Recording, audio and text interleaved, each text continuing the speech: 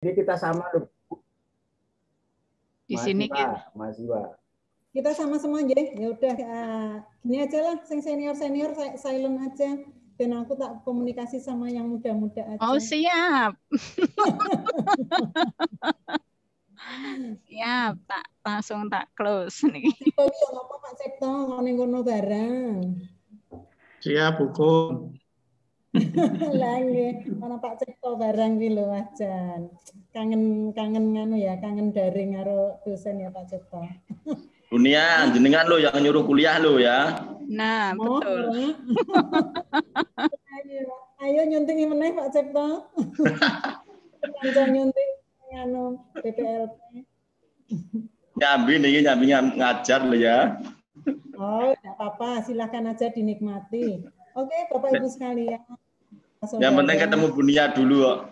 Nah, Bapak Ibu sekalian, seperti yang sudah terjadwal, eh, saya Kurniati Puji Lestari, info di awal ini ada 180-an, tapi masih nambah terus sih yang hadir sudah 137 habis pada nonton ganda putri ya gitu ya. Bunia saja bukanya setelah ganda putrinya menang baru buka Zoom gitu ya. Eh, Bapak Ibu sekalian serta saudara-saudara, saya dapat tugas ini dari koordinator mata ajar Pak Wagio. Gitu ya. Nah, saya bicaranya dengan yang junior-junior saja, senior-seniornya ini ada Bu Wiji, Bu Iis, Bu Titi, wah saya yang tak sebut ada Pak Dirman, Mbak Nonin, teman seangkatan saya gitu ya. Eh, saudara-saudara sekalian, eh sing senior itu dodo on kamera kok sing nom nom dora on kamera. Ayo pada on kamera, hmm, biar kelihatan uh, biar kelihatan cantiknya gitu ya. Eh, untuk menjadi bertanggung jawab saja, dosen on kamera yang masuk mahasiswa orang on kamera. Gitu ya. Saudara sekalian, Bapak Ibu, pada kesempatan ini sebenarnya kalau kita berbicara dengan mahasiswa alumni gitu ya, apalagi yang yang sudah apa namanya D4 terapan gitu ya, sarjana terapan, apalagi Bapak Ibu sekalian, apa meneh Bu Titi, Bu Iis gitu ya, sing bendino nguplek-nguplek maternitas disuruh mendengarkan dunia bicara maternitas gitu ya karena ini istilahnya bridging, bridging itu kan hanya menyiapkan Bapak Ibu sekalian. Sebenarnya tidak tepat kalau kita memang berbridging ria gitu ya, karena panjenengan bedanya maternitas panjenengan diterapan dengan eh, maternitas yang ada di NARS itu sebenarnya tidak ada gitu ya. Hanya mungkin langkah ini perlu ditempuh gitu ya agar untuk eh, mengingatkan pada Bapak Ibu serta saudara sekalian bahwa nanti akan berhadapan dengan maternitas yang saya tahu sejak saya masuk di D3 sampai saat ini saya berhadapan dengan mahasiswa NES tidak ada perubahan yang bermakna gitu ya terhadap materi. Sehingga rasanya kalau bridging saya paling hanya refresh refresh aja gitu ya. Dan senior senior itu menang baik gitu ya. Uh, yang komentar biar yang muda-muda aja, yang fresh-fresh graduate. Terus kalau ada tugas yang ngerjain biar yang muda-muda saja, Bu Iis biar tergarap PDME, Bu Nonin biar mengerjakan yang lain, Bu Titi apa meneh, meneh Kak Dedi, Kak Diman gitu ya. Pasrah Mbak sing wae. Uh, untuk kesempatan ini, hmm, sing tak apali saya ben ngono noni. Nih noni Eh, ini noni di empatan nih.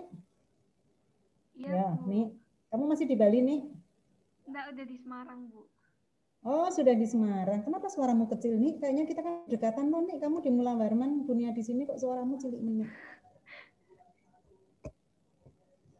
Iya, Ini Bu, Bunia iya. pengen tahu karena kan sekarang ini Bunia dapatnya tugas adalah membahas tentang kegawatan antenatal ya. nih. Masih ingat ya nih antenatal ya nih? Antenatal itu apa nih? Saat persalinan, Bu. Eh, Natal persalinan tak jewer lu noni. Ayo konsentrasi noni. Sing banter Tony. Ayo, non. Antenatal itu fasenya fase apa saja sih? Noni? Ki Noni gue putri anonim GR gitu loh. Ini Noni Bu ya nenek yang D4. Pamen aku orang aku orang undang sing tua-tua. Eh senior senior. Aku nggak ngundang yang senior senior, saya undang yang junior junior aja. Ayo Noni. Bermutu ya Bu Nia ya. Bukan tua tapi bermutu. Yang senior senior bendo nyambiliannya aku bicara dengan yang muda-muda saja.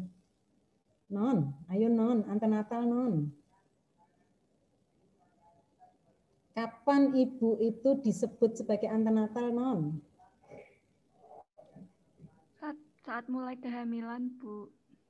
Ya, mulainya terjadi konsepsi ya non sampai sampai bayinya keluar. ya jangan loh bayinya keluar wis natal tuh ya, gitu ya sampai nanti fase minggu terakhir mau masuk ke uh, skala satu ya non ya. Jadi, nah di antenatal itu gitu ya, yang harus kita pahami benar karena kita ini kegawatan. Hmm. Lus, Lucy, halo Lucy, saya akunnya sorry ya mahasiswa. Ini mahasiswanya kan ada dari yang eh, fresh graduate yang dari Semarang, kemudian ada yang dari Magelang, kemudian ada yang di luar. Ya dua saja leh. Sinta apa punya familiarnya Lucy Mbak Nonin gitu. Lucy. Halo Lus. Nanti Lucy. Tadi kayaknya ada di depannya Bunia kok terus jadi Lucy ini enggak ada ya? Mana Lus? Kamu kok jadi hilang tuh Lus? Ya udahlah yang ada saja yang punya panggil. Mas Atalah, Mas Atalah itu dari mana Mas Atalah? Oh, jadi bimbingan Ibu Lucy gitu ya, didengarnya loh Ibu Lucy. Bimbingan Ibu Lucy katanya Mas Atalah. Mas Atalah, yang membedakan kegawatan gitu ya karena kan proses kegawatan uh, indikator dikatakan kegawatan itu biasanya dilihatnya dari indikator apa mas Atalah? Apa prinsip dari kegawatan itu? Tiga. Mengancam nyawa. Hmm, sama bukan lah. Eh ayo PPGD wis baru lulus toh. Indikator kegawatan itu bisa dilihat dari Bentar, Bu. Hmm. Indikator. Indikator kegawatan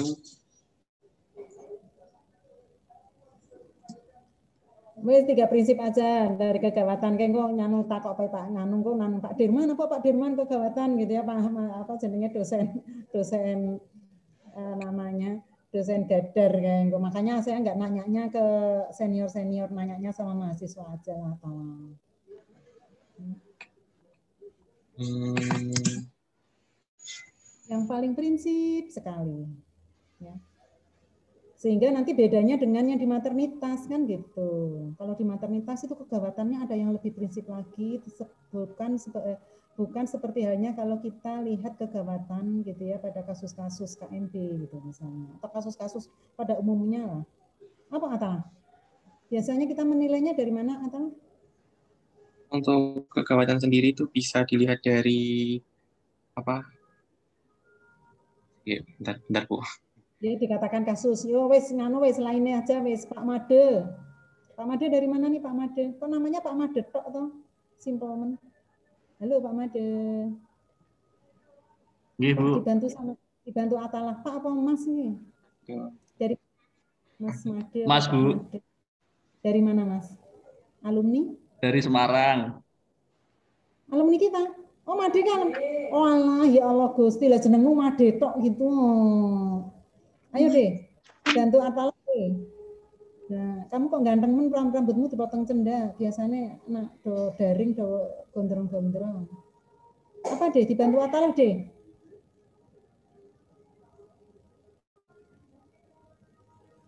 Kalau kita dikatakan indikator itu adalah kasus kegawatan, Ben Pak Dirman ben nangisnya. Duh, Gusti muridku kok udah koyo ngene tapi arep hukum kok jebule kegawatan wae indikatornya ra ngerti dilihatnya dari mana?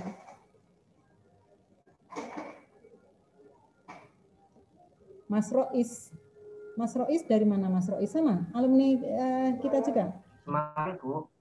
Oh, Semarang juga. Is, Iya. apa Is? Indikator kegawatan ya Bu. Mm-mm, Dia masuk kategori kegawatan. Dari dinilai dari airway, breathing, circulation, dan disability. Ya, dikon nyatet ya kalah ya Mbak Made ya, gitu ya. Nah, sekarang eh, itu adalah kasus-kasus umum. Namun di maternitas itu ada yang masuk kategori kegawatan, tapi tidak dilihat dari ADC-nya kan gitu. Iki Septi Maulina, Maulina Mbak Septi Maulina enggak MST? Bukan ya? Septi Maulina? Iya Ibu, saya dari Poltekkes Bu, Semarang. MST Mbak Septi? Eh, enggak Bu, AJ Bu, yang kemarin. Oh, AD. Oh, gitu. Kalau kasus ANC, kegawatannya yang tidak dilihat dari kate- kategori ABC itu apa Mbak Septi? Dia masih eh, langsung masuknya di ANC, eh, langsung masuknya di kegawatan itu. Padahal dia tidak ada gangguan, tidak ada, mungkin ada gangguan ini juga sih, apa namanya, eh, sirkulasi, tapi sebenarnya dia masuk di sananya bukan dari karena sirkulasinya salah satu yang harus segera diatasi gitu. Apa Mbak? Ya mungkin masuk saat kategori itu sih, tapi sebenarnya paling apa namanya kasus-kasus kasus-kasus kas pada ke maternitas apa Mbak? Yang masuk ke gawatan.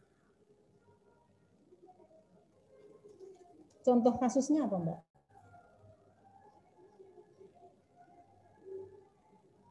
Mengancam jiwanya gitu.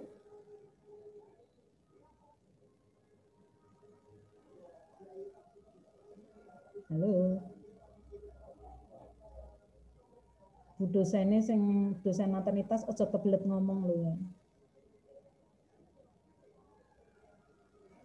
Soalnya tutup nganu si Loisa. Loisa dari mana Loisa? Ya, Bu. Loisa dari mana? Dari Alumni mana? Manado. Manado, Ibu. Oh, dari Manado. Ini Iya. orang Manado. Laisa. Ingat kasus-kasus antenatal care yang masuk ke gawatan, tapi kriteria utamanya bukan dari ABC? Misalnya kasus apa? Atau bantu aja lah. Tapi aku aku tidak mau mendengar ini dari Bu Titi atau Bu Iis atau Bu Noning gitu ya, atau Bu Wiji gitu ya adik-adik dari yang junior Ada yang bisa bantu? Silakan. Siapa saya? Kasus apa? Preeklamsi, Bu. Perdarahan. Perdarahan. Perut, Preeklamsi. Kehamilan prematur Bu. Preeklamsi gitu ya. Ada lagi? Placenta Kasus- previa, Bu. Placenta previa kan perdarahan sayang. Kan masuk sirkulasi. Yang lain? Infeksi bisa saja ya. Ada satu lagi? Premesis. Hmm? Pada kasus apa? Apa namanya? Kamu anu sayang. Apa non? Hiperemesis gravidarum. Enggak lah, hiperemesis enggak masuk, enggak masuk ke, enggak masuk ke gawatan. Kejang. Yang bisa kan preeklamsi tadi, masuk ke preeklamsi, gitu ya. Ada satu lagi kasus yang menjadi kasus apa kegawatan yang tidak Anemia. KPD, ketuban pecah dini. Belum, kalau KPD enggak, masuk ke gawatan. Apa sayang? KET sayang. Pernah lihat, eh, pernah, walaupun KET mungkin indikator salah satunya dari proses perdarahan, tapi sebenarnya pasti karena kalau KET-nya KET yang ada di apa di serviks gitu ya, eh, itu biasanya nyerinya hebat sekali yang akhirnya itu yang menjadikan indikasi dia harus segera diatasi karena proses kegawatannya karena nyeri. Oke, saudara sekalian, dunia sudah upload eh, apa namanya PPT tentang kegawatan, gitu ya. Sebentar. Kok tidak muncul ya?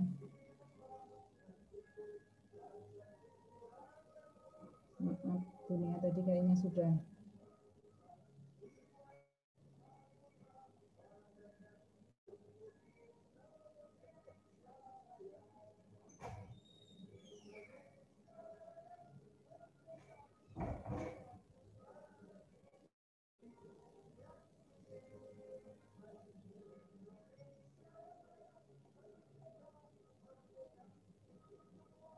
Hmm.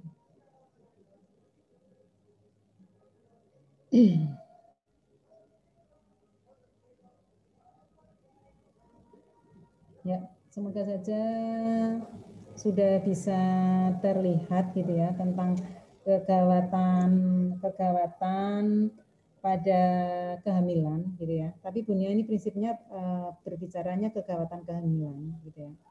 Nah, saudara sekalian dan Bapak Ibu, sebenarnya kalau untuk masalah bridging ini kan sebenarnya untuk pemantapan materi, untuk kesiapan Bapak Ibu Saudara ini nanti memberikan asuhan keperawatan saat berada di mata kuliah maternitas, di mana Bapak Ibu sekalian sebenarnya sudah familiar sekali gitu ya dengan kasus-kasus eh, maternitas gitu ya, apalagi yang patologis karena kalau di maternitas ini ada tahapan ante, intra, pos gitu ya.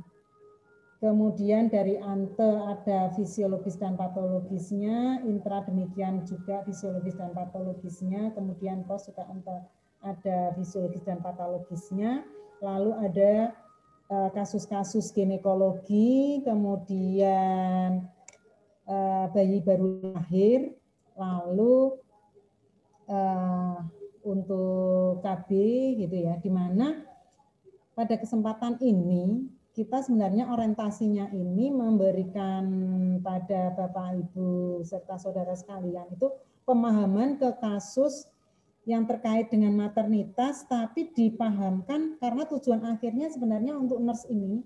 Ini kan mampu memahami kalau sudah dihadapkan pada UKOM karena kelulusan Bapak Ibu serta saudara sekalian di di proses pembelajaran nurse ini gitu ya.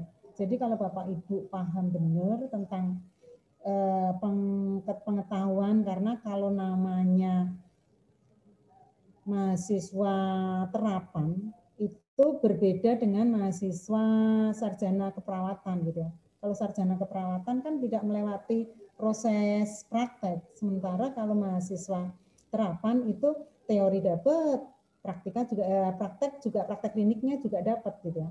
Berbeda dengan mahasiswa sarjana keperawatan, dia hanya melewati teori, kemudian praktek kliniknya hanya observasi tanpa dia terjun langsung interaksi dengan pasien. Nah, ini yang membedakan eh, saudara sekalian, harusnya saudara sekalian itu sudah mantap untuk maternitasnya. Jadi kalau untuk bridging ini ya paling hanya review-review saja gitu ya sehingga yang menjelaskan tentang materi nggak tepat juga sih gitu ya. Karena e, saudara sekalian sudah mendapatkan materi ini sebelumnya gitu ya. Makanya tadi e, saya sampaikan gitu apa sih bedanya kegawat daruratan pada umumnya dengan kegawat darurat pada maternitas gitu ya. Karena kalau eh, apa namanya kalau di umum ini kan paling kita tadi yang disampaikan indikatornya kan dari ABC-nya gitu ya, dari RW-nya, breathing-nya gitu ya, sirkulasinya gitu ya. Tapi kalau di maternitas sudah spesifik sekali gitu ya, mengarah ke kegawatan-kegawatan yang mengarah ke perdarahan, tapi yang prinsip juga nyeri pada pasien-pasien KET itu biasanya eh, sangat mengancam jiwa sekali karena nyerinya sudah tidak terkendali gitu ya uh, ini uh, dengan preeklamsi gitu ya, dengan kejang gitu. Nah, Bapak Ibu sekalian, ini uh, kemampuan yang perlu dipahamkan untuk mahasiswa itu adalah menguasai tentang kondisi itu gitu ya. Apalagi kalau kita sudah sampai di antenatal antenatal kegawatannya dari trimester 1, 2 dan 3 itu harus bisa membedakan nanti kalau ada statement kasus.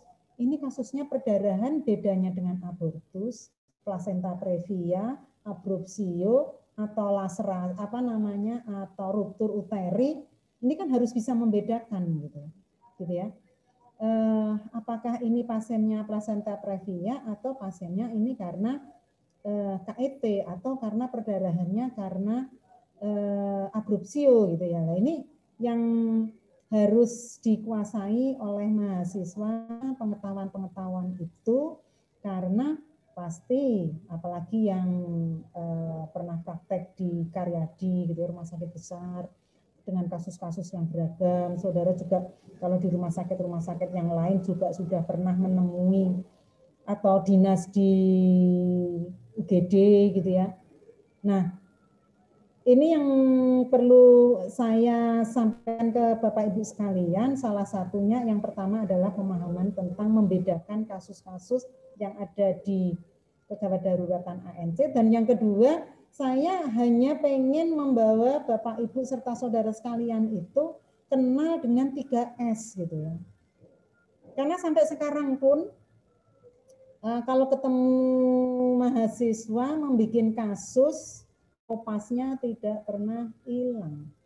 Gitu ya. Padahal yang dikopas itu kasus-kasus proses keperawatan lima tahun yang lalu, 10 tahun yang lalu gitu ya, sudah tidak pakai 3S. Nah, makanya eh, kalau saya untuk membicarakan kasus per kasus, ini kayaknya sudah tidak apa namanya, sudah tidak penting lagi gitu ya.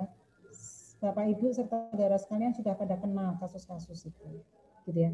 Jadi kalau kita ngomongin perdarahan di antenatal gitu ya, saya rasa sudah pada bisa menyebutkan gitu. Ya uji nyali atau eh, apa namanya saya pengen eh, pada nggak on kamera sih ya.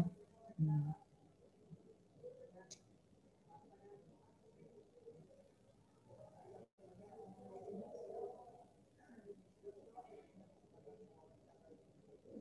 Sapna. Sapna ini alumni juga ya Sapna? Halo Sapna. Halo iya Bu, alumni. Alumni juga. Sapna, ayo sebutkan Sapna, perdarahan pada antenata, trimester 1 apa, trimester 2 apa, trimester atau trimester 1 aja lah. Perdarahan pada Trimester antenata. Ya? Pada Trimester kasus apa? 1 abortus Bu. Ya, abortus. Terus apa lagi? Eh, jangan siji-siji toh. Abortus satu, dua, tiga. Maksudnya ngomongnya langsung disebutkan semua atau sama. Udah siji-siji toh. Abortus, ya, trimester satu. Apalagi Sapna? Tadi yang sudah kita diskusikan di awal. Kasus perdarahan lagi selain abortus apa, Sapna? Hmm, Placenta. Solusio plasenta terjadi pada trimester. Eh, solusio plasenta ini apa Oh. cahayu? Placentanya itu Bu, nggak bisa nempel sempurna. Hmm. Solusio plasenta apa sayang? Placentanya itu nggak bisa nempel sempurna gitu Bu. Emang ono plasenta tidak nempel sempurna? Ono tuh ya, masuk plasenta tidak nempel sempurna. Kalau plasenta tidak nempel sempurna jadinya abortus sayang. Ayo, solusio plasenta itu apa? Mbak Tina. Mbak Tina ini dari mana ini? Nah ini kayaknya saya baru dengerin. Dari mana Mbak Tina? Dunia.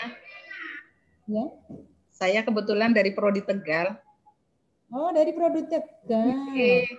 Dari nganu, pengajar juga? Iya, betul.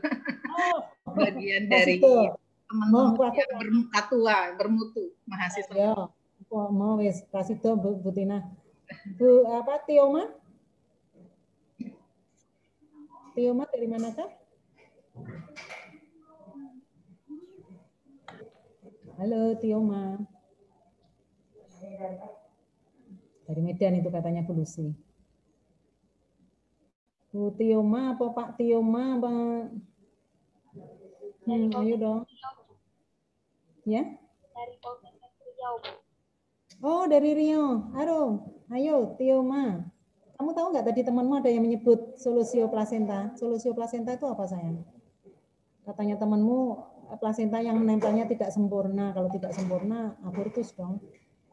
Apa solusi plasenta? G. Halo. Apa sayang? Yang tahu aja lah. Yang tahu aja tapi aja sing aja sing senior senior sing nom nom bae sing jawab. Yuk, solusi plasenta sayang. Solusi plasenta. Hmm. Siapa yang bicara ini? Plasenta lepas sebelum bayi lahir. Nah, plasenta, pelepasan plasenta. Jadi bukan menempelnya tidak sempurna, tapi pelepasan plasenta gitu ya. Biasanya disebabkan oleh apa sayang? Pelepasan plasentanya?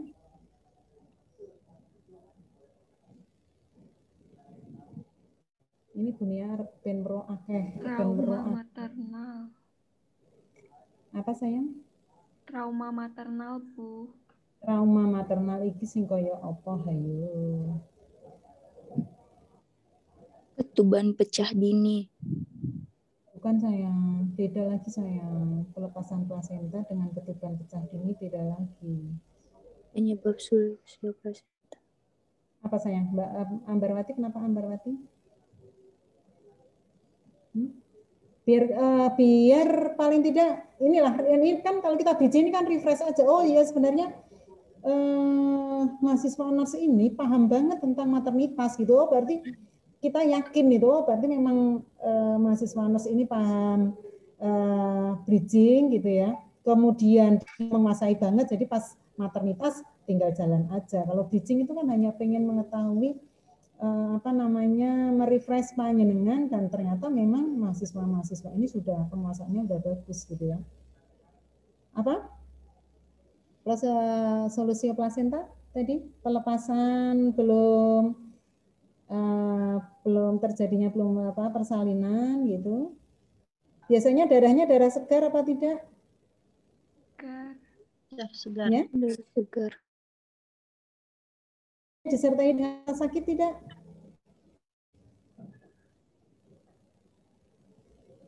Solusi plasenta.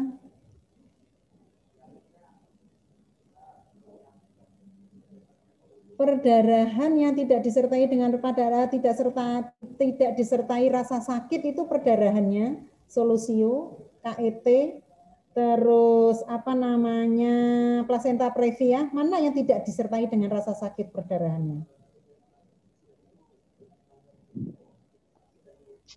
Apa Ambar? Perdarahan yang tidak disertai rasa, rasa sakit, perdarahan antenatal yang tidak disertai dengan rasa sakit, itu biasanya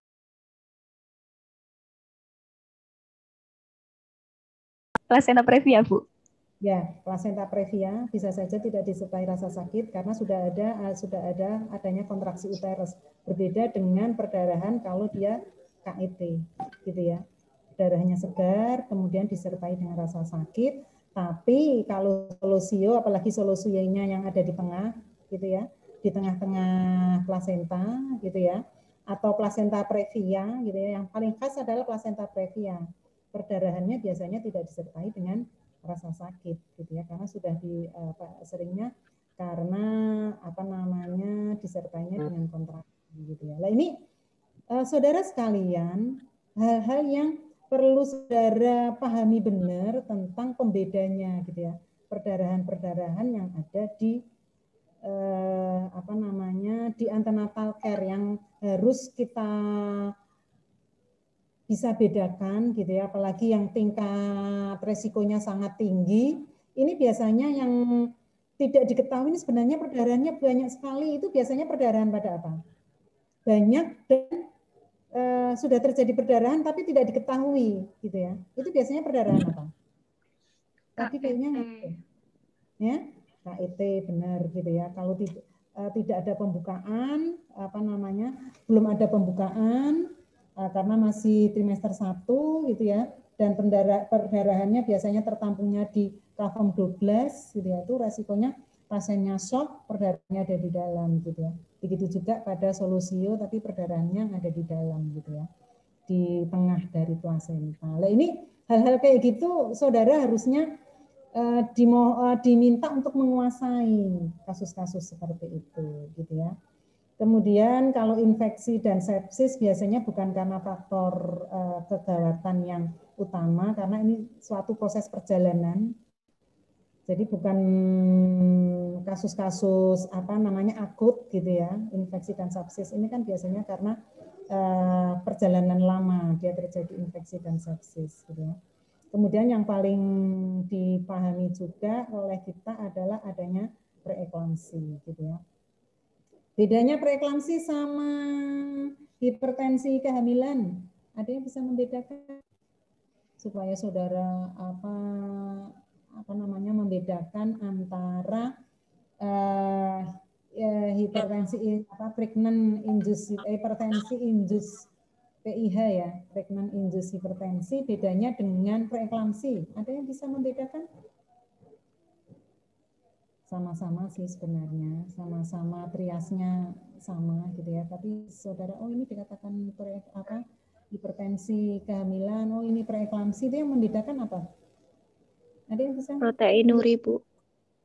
Sama-sama dua-duanya. Kalau semuanya orang dengan hipertensi gitu ya, orang ada edema yang menyebabkan edema pada kasus hipertensi, ya pada kasus preeklamsi itu karena adanya proteinuri. Jadi jadi kalau dia tidak ada proteinuri, sebab akibatnya seperti itu cahaya. Ya, jadi uh, hukum sebab akibat kenapa terjadi edema karena dia terjadi proteinuri. Kalau terjadi proteinuri berarti kandungan proteinnya di dalam darah apa namanya?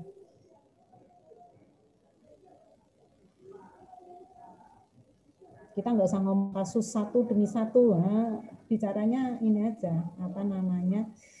Eh, penguasaan. Jadi saudara, oh kalau dihadapkan pada kasus ini, ya, tadi kan eh, biar berkembang aja. Apa Cahayu? Kalau orang terjadi proteinuri, ben Bu Alfiah ojo ngendikan, Bu Titik, mireng kayak ya Bu Alfiah ya.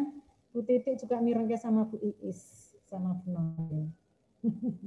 Orang sa ben nyambi nyambut gawe liyane wae. Eh? Biar tambah pintar. Perhatikan Ibu. Nah, ya ora usah melu ngendikan ben adik-adik wis sing do ngendik sing do matur. Ayo Cahayu. Soalnya eh, mahasiswa ini kadang-kadang tidak begitu menguasai patofisiologinya preeklamsi. Jadi orang kalau eh, preeklamsi itu dia mengalami peningkatan tekanan darah. Kenapa dia bisa edema? Apa Cahayu? Kenapa preeklamsi kok bisa edema? Ada yang bisa mau menjawab? Nggak usah, Bunia nggak usah menjelaskan preeklamsi itu apa. Halo, kenapa pasien bisa edema?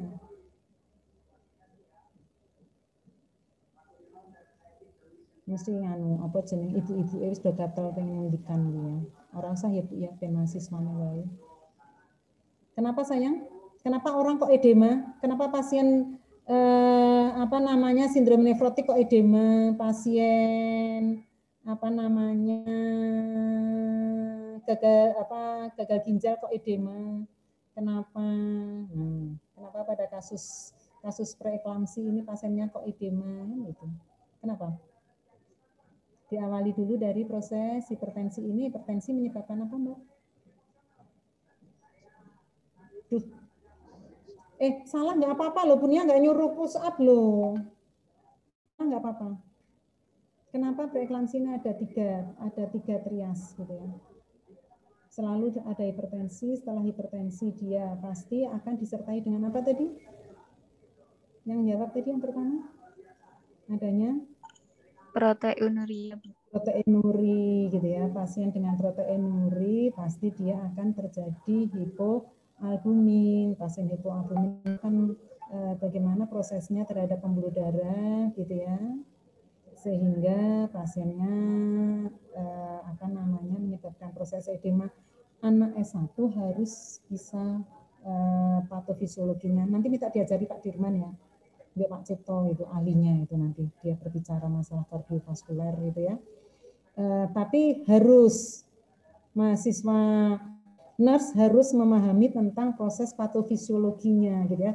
Jadi nggak usah diinget-inget trias trias preeklamsi itu. Jadi pasti ini eh, tiga tanda ini pasti saling eh, eh, menyertai gitu.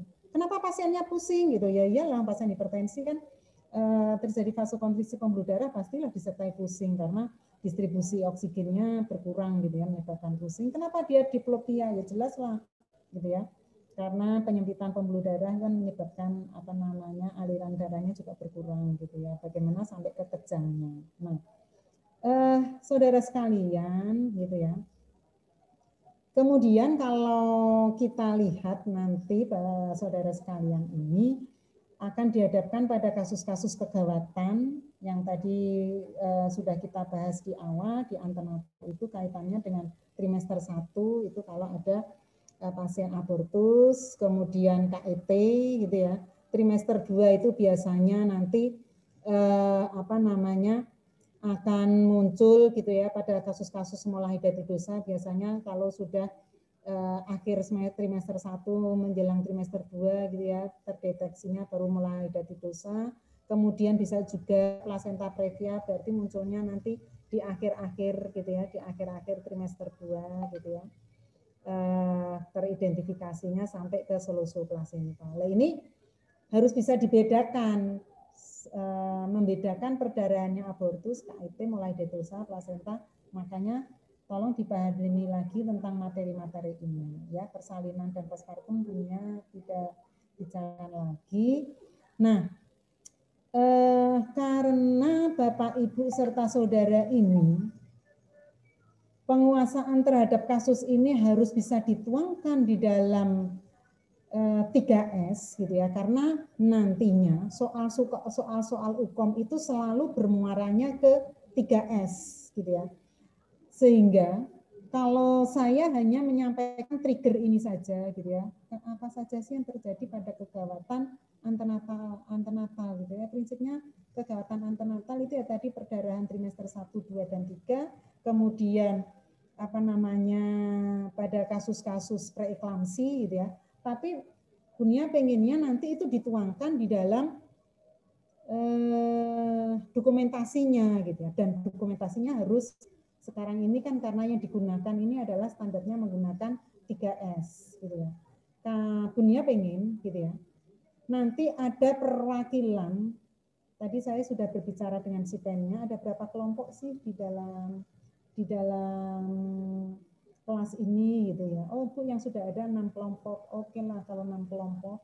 Berarti Bunia pengen nanti ada yang membuat satu diagnosa karena Bunia ada contohnya. Karena contohnya yang ada itu nyeri sama laktasi, berarti kasus itu tidak boleh diambil gitu ya. Diagnosa tentang nyeri. Karena di antenatal kan eh, jadi kasus nyeri tidak boleh diambil karena sudah menjadi contoh dunia dan dunia ini mengambil contoh dokumentasinya untuk kasus apa namanya ke kasus yang ada ini Bunia ambil saat dulu ikut pelatihan yang 3S yang mengadakan PPNI gitu ya nanti Bunia akan ambil salah satu di sana sehingga Bapak Ibu dan saudara sekalian karena untuk bridging ini kita tidak perlu harus membicarakan tentang definisi kemudian tanda dan gejala sudah tidak lagi gitu ya. Uh, saya hanya ingin menghadapkan pada Bapak Ibu sekalian gitu ya. Bagaimana sih melihat kembali materi yang sudah dimiliki kemudian dituangkan di dalam dokumentasinya yang benar gitu ya. Menggunakan 3S gitu ya. Jadi diagnosanya harusnya Uh, dari SDKI-nya mengambilnya seperti apa, menulis luaran yang benar seperti apa, menulis uh, rencana atau intervensinya yang benar seperti apa, ini harus dibiasakan gitu ya, familiar gitu ya untuk mahasiswa nurse ini. Nah, uh, saya akan nanti menyampaikan pada Bapak Ibu serta saudara sekalian. Kalau saya membicarakan shock karena perdarahan itu tanda-tandanya seperti apa itu kan sudah tidak uh, tidak perlu dibicarakan lagi gitu ya karena ini sebenarnya sudah di dalam apa sih istilahnya luar kepala buat saudara sekalian eh, Bapak Ibu yang paham tentang kasus-kasus kegawatan. Sehingga saya rasa hal-hal seperti ini tidak perlu dilakukan. Yang perlu dikenalkan adalah kalau ini dituangkan di dalam soal apa sih pilihan jawaban yang tepat ya? Kemudian bagaimana sih bentuk dokumentasinya yang tepat? Itu kan yang harus dikuasai oleh Bapak Ibu sekalian. Nah ini eh, saya materi ini sudah saya masukkan di dalam Healthy, nah nanti bisa diupload, tapi harus diperkaya lagi dengan uh, Bapak Ibu membaca atau buku-buku yang sudah dimiliki. Yang ingin saya sampaikan ke Bapak Ibu sekalian adalah berikutnya itu tentang nih. Kalau kita membuat dokumentasi atau yang harus dikuasai gitu ya yang harus dikuasai untuk uh, menulis.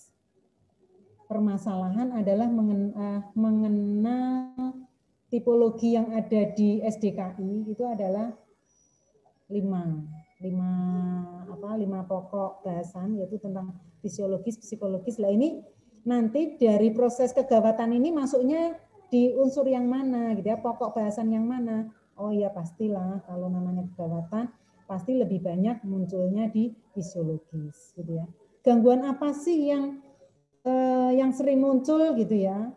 Pasti kalau tidak respirasi, sirkulasi, nutrisi dan cairan gitu ya. Yang lain-lain pastinya tidak menjadi fokus bahasan di kegawatan dan satu lagi di psikologis nyeri dan kenyamanan tadi yang kalau pasien KIT gitu ya nyeri dan kenyamanan kalau yang lain-lain uh, tidak diangkat di dalam uh, diagnosa pada kasus kegawatan. Nah, ini yang perlu kami antarkan. Makanya kenapa saya tadi sama si Pen, uh, ada nggak sih yang bawa buku SDKI standar diagnosis gitu ya? Karena supaya ter, uh, mahasiswa nurse ini area yang perlu dibahas adalah kemampuan di dalam penuangan pembuatan 3S. Ya. Jadi membuat dokumentasi keperawatan dengan pendekatan 3S itu harus sudah apa sih istilahnya orang Jawa itu ngelotok gitu ya. Orang Rio paham nggak yang ngelotok gitu? Apa ya? Di luar kepala gitu ya. Dan ini harus familiar sekali dengan buku SDKI itu harus anak-anak mahasiswa NAS semuanya harus punya 180 uh, eh, mahasiswa ini harus punya buku 3S ada yang masih belum punya buku 3S? Karena nanti harus loh, apa namanya, eh, kalau dibilang kitab jangan ya saru gitu ya. Buku acuan 3S ini harus dimiliki oleh mahasiswa NUS. Ini merupakan eh, apa namanya standar yang harus dimiliki oleh mahasiswa NUS. Karena apa? Saat nanti membuat eh, dokumentasi asuhan keperawatan harus dasarnya 3S dan menguasai tiga tahapan eh, pengangkatan diagnosa ini gitu ya. Mengambil dari psiko apa namanya dari lima pokok bahasan ini kemudian sub pokok bahasannya itu harus apal benar itu mas karena apa? Mahasiswa nurse ini kan kewajibannya yang membuat NCP ini kan mahasiswa nurse ya. vokasi itu hanya sebagai pelaksana saja yang berada di dalam uh, proses implementasi lah dalam penyusunan MCP-nya ini adalah mahasiswa mas. Sehingga uh, saudara sekalian uh, tadi tahapan yang perlu dilakukan adalah kita kenali dulu gitu ya dalam menyusun standar proses keperawatan makanya pada akhirnya Bunia pengen Tadi yang sudah saya sampaikan ke si pennya gitu ya. Ini materi yang saya dapatkan materi yang saya dapatkan saat saya mengikuti seminar apa webinar PPNI gitu ya eh, tentang maternitas. Nah ini kemampuan ini yang uh, saya ingin dituangkan oleh Bapak Ibu serta saudara sekalian. Jadi pada kelas ini kan ada 180, nggak tahu ini bagaimana pembagiannya si Pen, monggo aja. Uh, si Pen membaginya gitu ya. Katanya ada enam kelompok, kalau ada enam kelompok berarti saya ingin nanti tiga membahas tentang 3DP. gitu ya. Dan yang tiga adalah membahas tentang eh, apa namanya literatur review gitu ya. Jadi tiga kelompok membahas tentang tiga diagnosa keperawatan, kemudian tiga kelompok akan membahas tentang eh, literatur review tentang intervensi yang dilakukan pada tiga diagnosa yang diangkat oleh tiga kelompok tadi. Eh, tentunya karena di sini contohnya adalah pasien-pasien postpartum dan kaitannya ini adalah nyeri, makanya tiga diagnosa tidak boleh ngambil diagnosa nyeri. Kalau laktasi kan nggak mungkin, gitu ya. Tidak boleh ngambil ngambil diagnosa eh, nyeri, gitu ya. Silahkan mau ngambil hi, apa hipovolemik boleh, karena proses perdarahan boleh, gitu ya Eh, pada kasus-kasus kejang eh, boleh gitu ya. Yang penting nanti ada gambarannya bahwa ada tiga kelompok ini membuat eh, apa namanya dokumentasi satu diagnosa tapi lengkap dan benar. Yang diambil diagnosanya nomor berapa gitu ya. Kemudian tautan dari SDKI-nya ke SLKI-nya itu yang diambil luaran utamanya atau luar luaran tambahannya itu harus ada tahapannya, gitu ya. Kalau uh, bisa membuka SDKI, harusnya saat membuka SLKI itu harus dari halaman belakang. Pada apal enggak cara membuka cara membuka 3S? Ya, jadi kalau saudara membuka SDKI, kalau mau membuka SLKI itu harus dari halaman belakang. Gitu ya.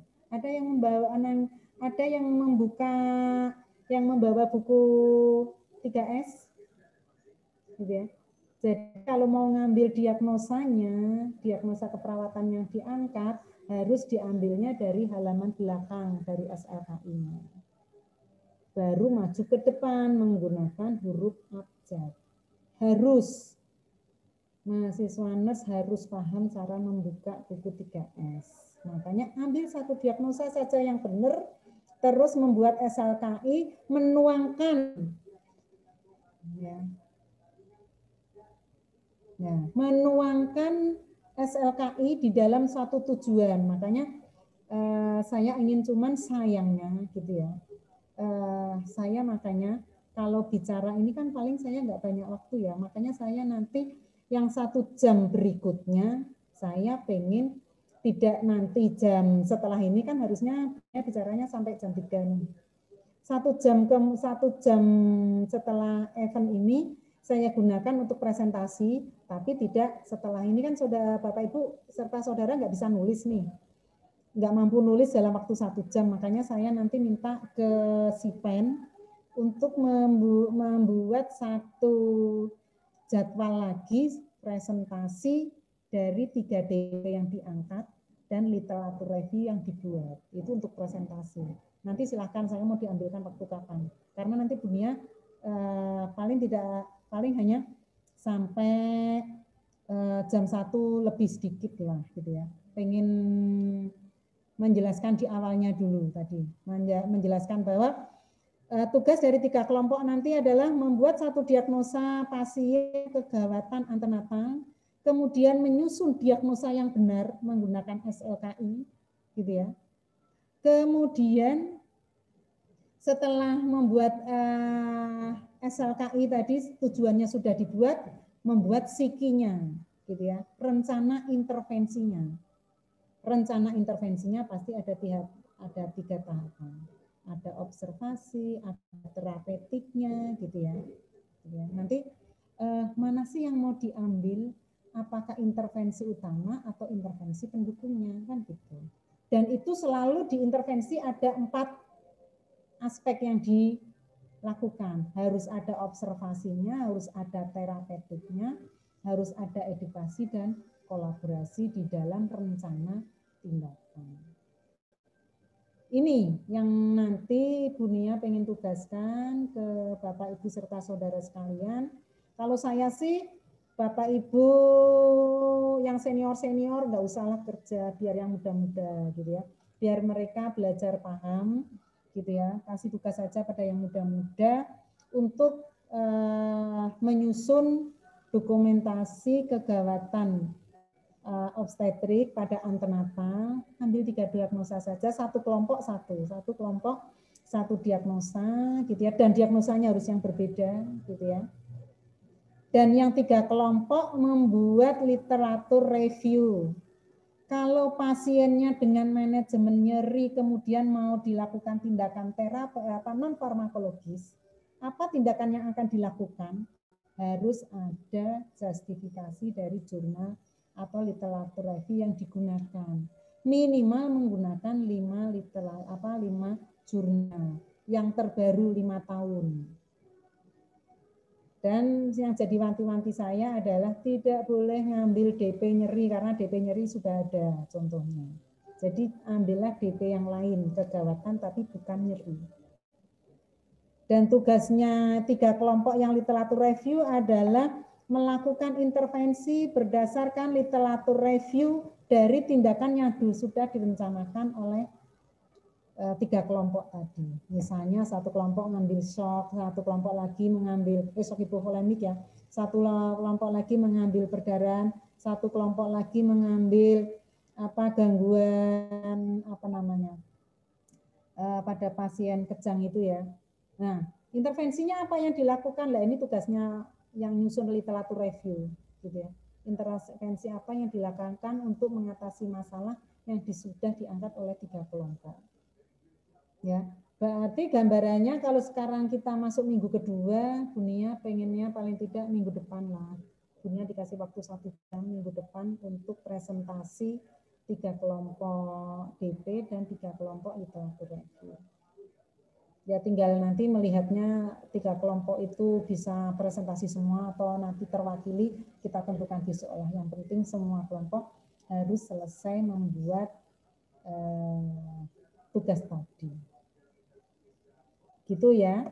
Jadi eh, gambarannya seperti ini kalau kita, makanya Bunia sampaikan contohnya gitu ya. Cara membuat diagnosa yang benar, bagaimana sih formulasi kalimatnya? Cara membuat kriteria hasil atau tujuan yang benar, bagaimana sih cara penuangannya? Cara membuat intervensi yang benar. Gitu.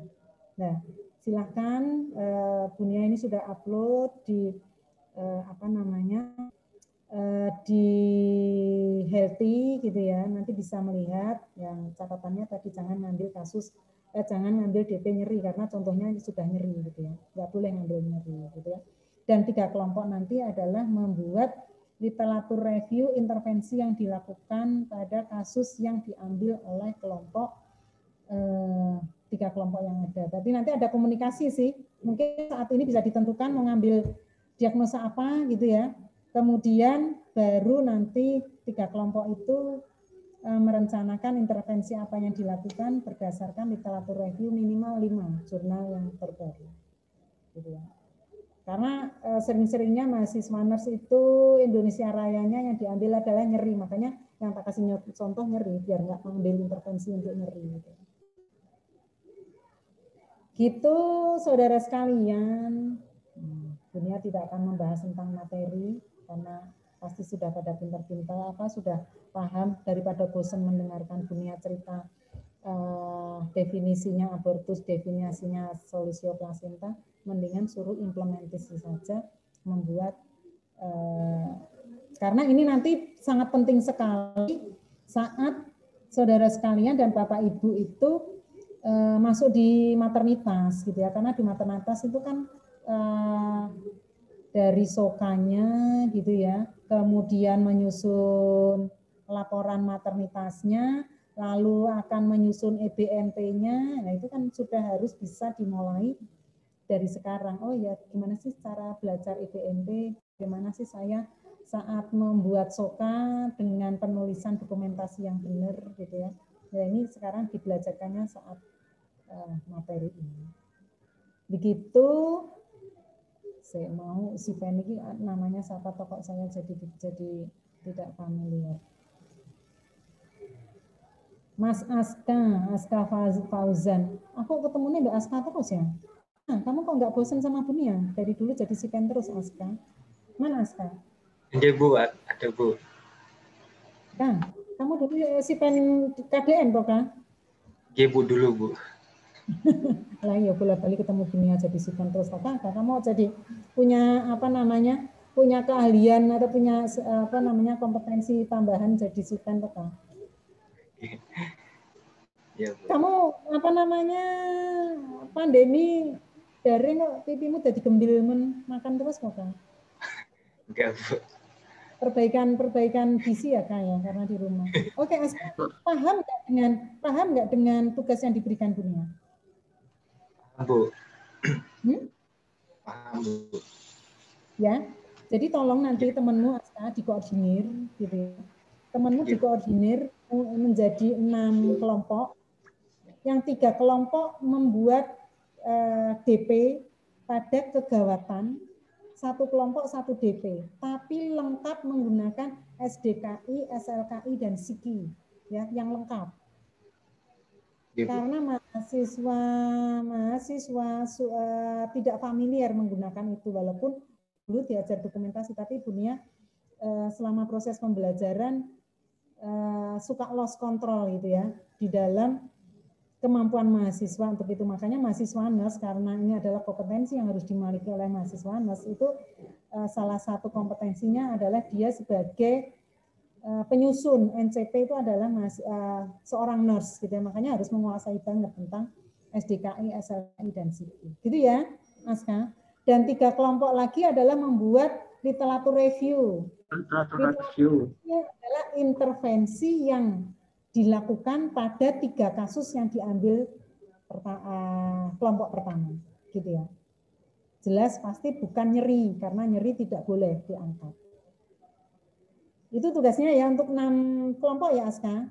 Enggak Bu. Ya, karena Bunia ini eh, ini kan Bunia tutup nih setelah ini Bunia eh, tidak menga- eh, tidak memberikan materi gitu ya. Bunia langsung nanti untuk satu jam berikutnya tolong sisakan waktu satu jam minggu depan untuk presentasi enam kelompok tadi. Silakan mau diambilkan kapan gitu ya. Tapi yang jelas harus di dalam koridor jam kerja ya Aska ya. Jadi siapkan dulu mahasiswa, materinya sudah selesai. Jadi sewaktu-waktu kalau ada jam kosong bisa digunakan. Gitu ya. Karena saya tahu mungkin eh, saudara kan eh, waktunya terlalu rigid ya. Eh, sudah terjadwal penuh gitu ya. Makanya tapi kan pasti ada dosen-dosen yang cancel ya. Nanti dunia boleh menggunakan jam itu. Tapi jam kerja ya Aska. Jangan hari Sabtu apa meneh Minggu gitu ya. Gitu Aska, jelas ya tugas dari Bunia ya Aska karena kamu nanti yang akan berkoordinasi dengan teman-teman yang lain. Ya, siap. Oke. Ada mungkin yang menanyakan gitu ya. Saya rasa kalau bicara materi sudah tidak saatnya lagi lah mahasiswa terapan wis katam maternitas gitu ya, sudah menguasai maternitas. Tapi mungkin ada yang dipertanyakan dari tugas-tugasnya, tapi boleh juga sih kalau ada yang mau didiskusikan tentang materi kegawatan maternitas di Antenata. Silakan, ada yang mau eh, menyampaikan sesuatu atau mungkin yang mahasiswa di luar Poltekkes Semarang yang eh, apa namanya tahapan-tahapan ini belum apa belum dilalui gitu ya bisa juga silakan kalau ada yang ingin ditanyakan kalau mahasiswa keperawat di Poltekkes Semarang kan sudah familiar gitu ya dengan literatur review ada yang mau berdiskusi atau ingin ditanyakan? Karena satu jam pertama saya rasa sudah membawa saya untuk apa namanya mengantarkan ya pembuka sebagai pembuka di dalam kegawatan antenata secara materi panjenengan sudah paham semua. Sekarang yang ingin saya bawa adalah bagaimana Bapak Ibu serta saudara itu bisa menuangkan tentang kegawatan itu di dalam bentuk dokumentasinya dan belajar tentang EBMP-nya gitu ya nantinya eh, berproses gitu ya supaya pas maternitas oh udah siap lah gitu ya sudah paham tentang bentuk dokumentasi dan EBMP-nya. Gitu, Bapak Ibu sekalian, Saudara, ada yang ingin klarifikasi? Monggo. Ye, Bu Afia. Sehat Bu Afia. Kangen mesti Mbak aku Bu Afia. Kudune wis lulus lho Bu Afia lho. Jadi saya kuliah nanti kita Bu Afia. Anmut Bu Afia. Jenengan masih anmut. Belum kedengeran suaranya, Bu. Bu Afia masih unmute, Bu. Oke. Nah, ya kudu Matur lulus ya. Pak. Bu Afia kudu lulus malah saiki sekolah meneh. Monggo Bu Afia terus pundi? Iya, eh, saya belum begitu familiar sekali dengan buku 3S. Nggih. Lah ini mumpung ketemu Bu Nia, eh, saya akan menanyakan satu ketidaknya eh, diagnosa ketidaknyamanan pasca pas, apa postpartum itu apakah eh, penyebabnya harus duanya misalnya eh, trauma perineum atau pembengkakan payudara atau boleh satu saja. Kemudian yang kedua, saya tertarik sekali tadi Bu Nia menjelaskan cara membaca buku 3S yang dari belakang itu terus terang saya belum tahu Bu Nia. J, Bu apa namanya Bu Afia, J. Jadi eh, Bu Afia, memang kita kalau apalagi panjenengan ya, panjenengan nanti panjenengan karena kan di diploma 3 gitu ya. Anak diploma 3 itu kan eh, hanya mengenal Ibu kalau untuk yang Yeah. untuk NCP. Tapi kalau nurse itu harus harus menguasai benar karena tugas tugas nurse itu adalah di dalam pembuatan NCP itu adalah tugasnya nurse dan dia harus menguasai sekali. Lah, Iya. Ibu, eh, Ibu Ibu Nani, nanti Ibu Nani bisa kalau materi secara penuh, kalau membutuhkan materi secara ini kan ini memang ada pelatihannya khusus. Kalau Bu Nani ingin mendapatkan materi secara utuh sebagai eh, secara utuh bagaimana membaca SDKI, kalau SDKI tadi seperti saya sampaikan, panjenengan harus mengenal pokok bahasan eh, pokok bahasan lima pokok bahasan tadi sampai dengan sub pokok bahasannya. Oh masuk eh, masuk di mana gitu ya?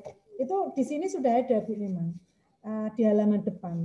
Jadi kalau kita membaca awal subkategorinya, jadi ada kategori dan subkategori dan diagnosanya. Itu bisa kita lihat di halaman depan di SDKI, Bu. Di daftar isi.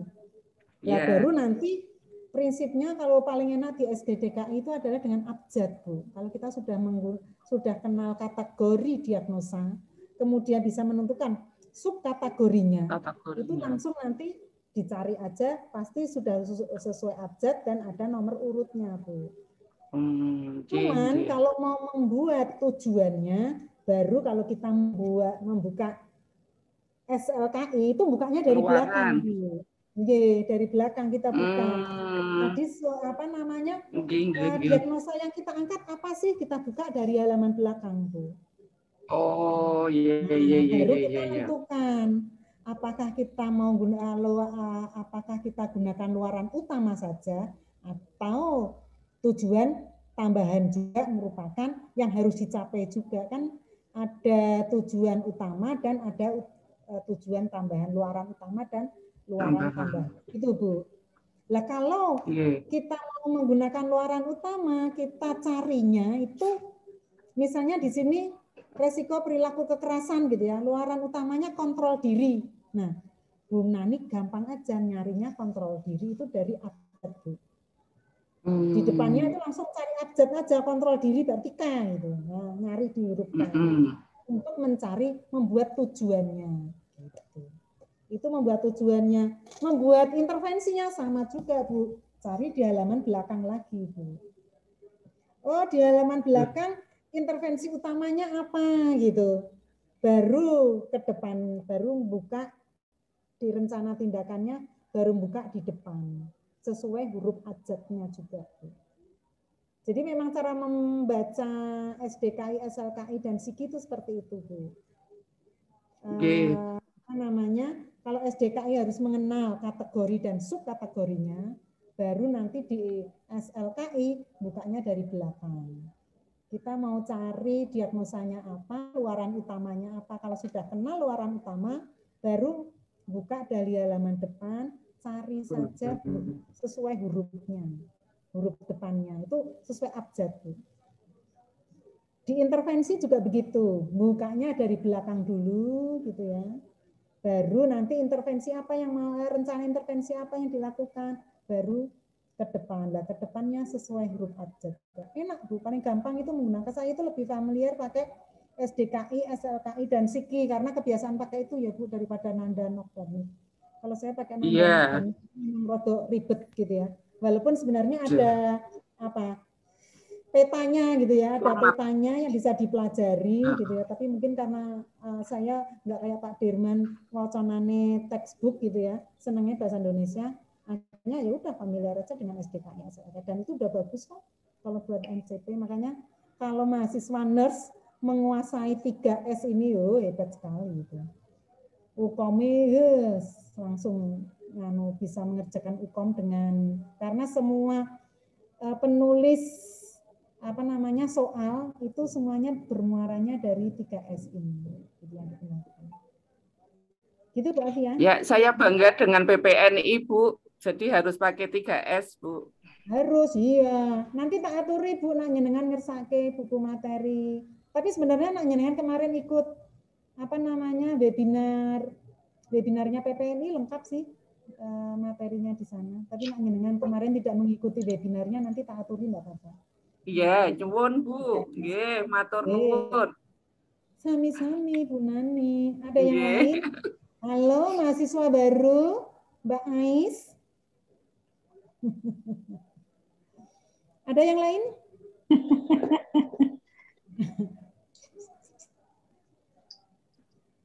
Ada yang lain monggo selain Bu Afia? Bapak Ibu sekalian, ye kami tenggo ye nanti jadwal satu jam lagi saya cari untuk eh, minggu depan gitu ya. Saya nyumun satu jam untuk presentasi eh, kasus kegawatan dituangkan di dalam eh, proses keperawatan gitu ya. Kemudian yang tiga kelompok lagi membuat literatur reviewnya untuk intervensinya. Satu aja nggak apa-apa. Satu kelompok satu tindakan, satu kelompok satu tindakan.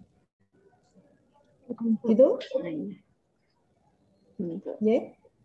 Ada yang lain yang mau ditanyakan? Kalau tidak ada, Bunia sudahi sekarang sih. Nanti Aska bisa berkoordinasi untuk apa namanya, untuk kelompok, pembagian kelompok dan eh, diagnosa yang mau diangkat, terus intervensi apa yang mau diangkat gitu. Nanti silahkan Aska yang eh, apa namanya membagi kelompok.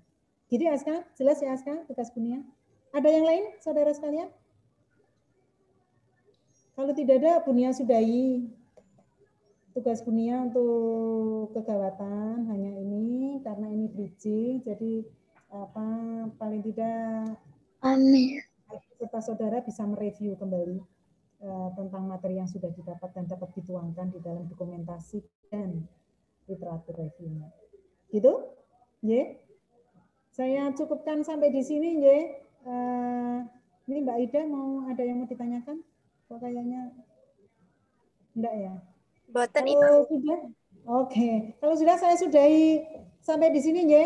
Monggo Bapak Ibu semuanya, mohon maaf. Kita ketemu di minggu depan di apa namanya sesi untuk presentasi tugas. Apa ya? Saya cukupkan.